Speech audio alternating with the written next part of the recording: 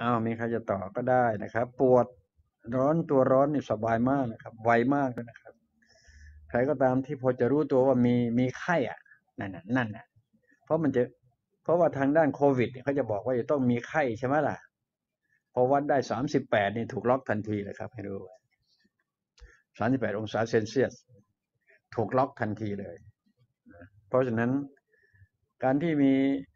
อุณหภูมิขนาดเนี้ยหายใจรถตัวเองเนี่ยรถผิวกายมันจะร้อนเผาเผาหายใจออกมันก็จะเริ่มร้อนนะฮะที่ที่รูจมูกร้อนเผาเนี่ยฮะโทรไม่แป๊บเดียวหายด้วยนะครับ ไม่เกินนาทีด้วยพวกนี้กล้าพูดได้ขนาดนี้นะครับ พลังงานบริสุทธิ์นี่จะไวจะไวมากๆเลยไม่คิดไม่ทำไม่สิทธิ์นะฮะท่านผู้ใดที่มีที่ว่านี้ก็ลอง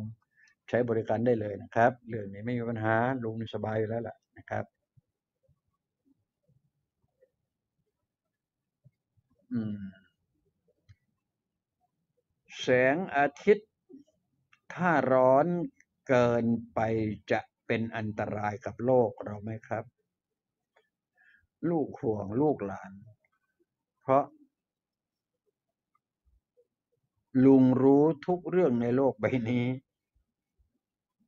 ตอบลูกด้วยค่ะ แต่ลูกเคยถามลุงแล้วเขา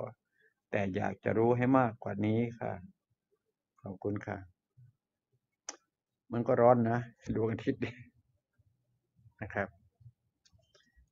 ความร้อนใด ๆ ในโลกเนี่ยนะครับ มันสู้ดวงอาทิตย์ไม่ได้ดวงอาทิตย์มันจะร้อนที่สุดแล้วล่ะครับที่มันดูว่ามันไม่ร้อนเพราะมันอยู่ไกลแค่นั้นเองนะครับ อยู่ไกลกับเรา ก็แค่นั้นเองเฉพาะความร้อนนะแต่จริง ๆ แล้วถ้ามันไม่มีความร้อนใดเท่ากับดวงอาทิตย์นะความร้อนตรงนั้นนะครับ ใช่เนาะวิธีคิดเกี่ยวดวงอาทิตย์เนี่ยผมว่านะ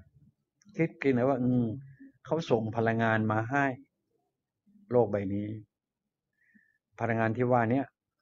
ก็คืออา ความร้อนมันเป็นพลังงาน พลังงานที่ว่านี้ก็คือพลังงานความร้อน เราคิดอย่างนี้วิธีคิดนะครับ ทีนี้ในเนื้อในอะของดวงอาทิตย์ ลุงบอกว่ามันมีพลังงานมันมีพลังงานบริสุทธิ์อยู่ ทีนี้ไอ้เจ้าพลังงานที่บริสุทธิ์ที่มันออกมาทีไหนครับ มันจะออกมาออกมาตามอะไร มาตามความร้อนได้ไหม มันมันมาตามแสงอะ โอเคไหมครับ มันเป็นโฟตอน เพราะมันเป็นแสงมาด้วย อะ โอเคไหมครับ อืมดวงอาทิตย์มันมีทั้งความร้อนกับแสงมันคือสมบัติเดียวกัน คืออันเดียวกันโอเคไหมเพราะฉะนั้นคำว่าโฟตอน มันก็มาพร้อมกับแสง เพราะฉะนั้นลุงก็เลยใช้คำว่าพลังงานโฟตอน โอเคไหมครับ ก็แค่นั้นเอง ใช่นะ ก็ขอพูดผ่านภาษาวิทยาศาสตร์เขาหน่อยหนึ่งแต่ความจริงวิทยาศาสตร์ก็ไม่ใช้งานไม่ได้หรอกเออวิทยาศาสตร์ก็เอามาใช้งานไม่ได้หรอก ก็แค่นั้นแหละ ใช่นะ แต่ทางด้านฝั่งธรรมชาติเนี่ย หรือว่าทางด้านฝั่งจิตเนี่ยนำมาใช้ได้ แต่จิตที่ว่ามันต้องถึงขั้นบริสุทธิ์ จึงจะมาใช้ได้ก็แค่นั้นเองนะครับ เพราะฉะนั้นเรื่องของจิตเนี่ยวันไหนก็พัฒนาได้ก็พัฒนาไปนะง่ายๆครับ ยุคนี้เป็นยุคที่มนุษย์จะเข้าถึงพระธรรมนะครับจำด้วยครับ เข้าถึงพระธรรมอ่าเข้าถึงพระธรรมที่พระพุทธเจ้าให้ไว้แก่ประชาชนชาวโลกนะมันจะทีละน้อยสองน้อยครับ ได้หนึ่งเปอร์เซ็นได้ห้าเปอร์เซ็นได้สิบเปอร์เซ็นได้สิบห้าเปอร์เซ็นยี่สิบยี่ห้าเปอร์เซ็นถ้ายี่ห้าเปอร์เซ็นปุ๊บ ระดับโสดาบันทันทีรักษาตัวเองได้แน่นอนนะครับเห็นไหมมันจะขึ้นมาอย่างเงี้ย อย่าลืมนะเวลาอยู่ในภาวะของกึ่งพุทธกาลนะครับนะมันเกินสองพันห้าร้อยปีมาสิบเก้าปีเต็มแล้วนะครับช่วงนี้แหละครับ เป็นช่วงที่ผู้ผู้จะเข้าถึงพระธรรม หรือที่หรือหรือบอกว่าจะเป็นจะเป็นช่วงของมนุษย์บรรลุธรรมสูงสุด โอเคไหมครับ อย่าลืมนะโลกใบนี้ขาดพระอรหันต์มานานมากนะครับ จะบอกให้ทราบไว้นะครับพระทหารที่พูดคุยทุกวันนี่คือ ได้แต่ภาษากันนะครับตัวเป็นๆจริง ๆ จังๆเนี่ยผมก็ว่ายังไม่เคยเห็นนะอ่ถ้าเห็นแล้วก็บอกหน่อยครับนะเห็นหน่อยหน่อยเป็นเป็นจริง ๆ จังๆเนี่ยที่ว่าแน่ๆเนี่ย อย่าลืมนะพระมีอยู่สี่ระดับนะอย่าลืม ปัญญาวิมุตติ ปัญญาวิมุตติมีไหมอ่า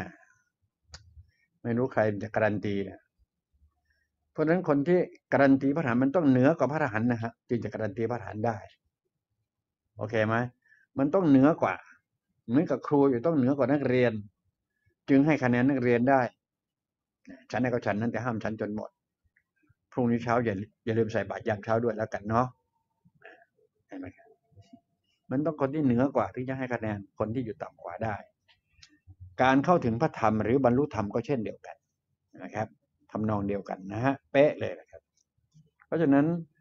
การที่จะเข้าถึงก็คือตามพลังงานที่บริสุทธิ์หรือว่าตามจิตนี่นะครับได้ห้าเปอร์เซ็นสิบเปอร์เซ็นสิบห้าเปอร์เซ็น ยี่ห้าเปอร์เซ็นนี่โสดาบันเป๊ะเลยอย่างเงี้ยตัวถ้าไต่ไปถึงนู่นเก้าสิบเก้าจุดเก้าเก้าเปอร์เซ็นต์หรือว่าร้อยเปอร์เซ็นต์เป๊ะ ถ้าตรงนี้จะเรียกว่าปัญญาวิมุตติได้เรื่องของปัญญา ปัญญาวิมุตติ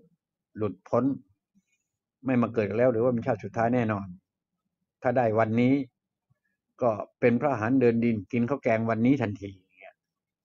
เห็นไหม นี่ได้ปัญญาก็สอนสั่งผู้คนด้วยเนี่ยในระดับที่สอนสั่งผู้คนนะครับ